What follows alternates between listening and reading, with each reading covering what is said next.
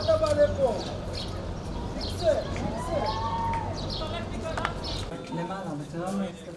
היום בסביבות השעה 11:05 בבוקר התקבל אירוע של אלימות ברחוב בר יוחאי בירושלים.